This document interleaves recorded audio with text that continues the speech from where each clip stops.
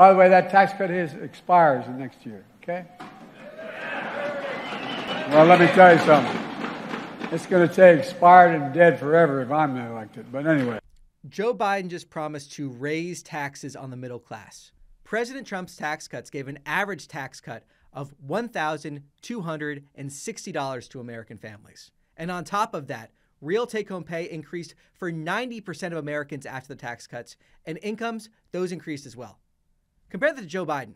After he passed his so called stimulus, his $1.9 trillion boondoggle, prices have increased by 19.4%. Real weekly earnings are down 3.9%.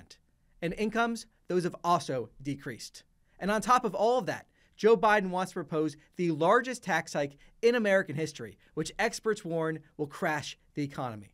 Bidenomics means higher taxes and higher inflation.